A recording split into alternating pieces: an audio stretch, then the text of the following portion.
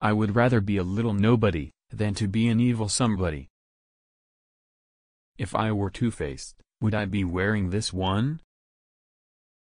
I have been driven many times upon my knees by the overwhelming conviction that I had nowhere else to go. My own wisdom and that of all about me seemed insufficient for that day. All that I am or ever hope to be, I owe to my angel mother. Character is like a tree and reputation its shadow. The shadow is what we think it is and the tree is the real thing.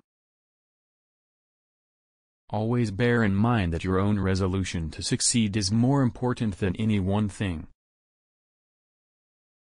The best way to predict your future is to create it. No man is poor who has a godly mother. We are not enemies, but friends. We must not be enemies.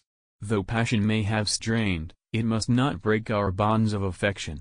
The mystic chords of memory will swell when again touched as surely they will be, by the better angels of our nature. I laugh because I must not cry, that is all, that is all. Tact, the ability to describe others as they see themselves. Give me six hours to chop down a tree and I will spend the first four sharpening the axe. Elections belong to the people. It's their decision.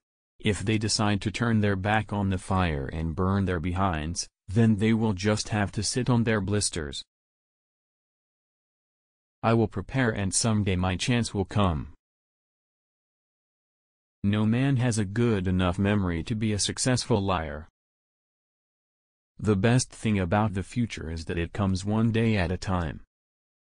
My father taught me to work, but not to love it.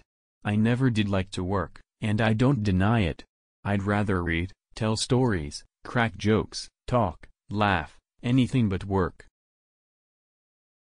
I have always found that mercy bears richer fruits than strict justice. If you once forfeit the confidence of your fellow citizens, you can never regain their respect and esteem.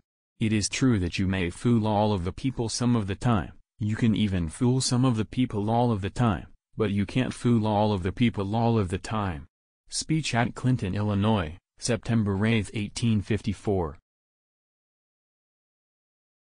All I have learned, I learned from books.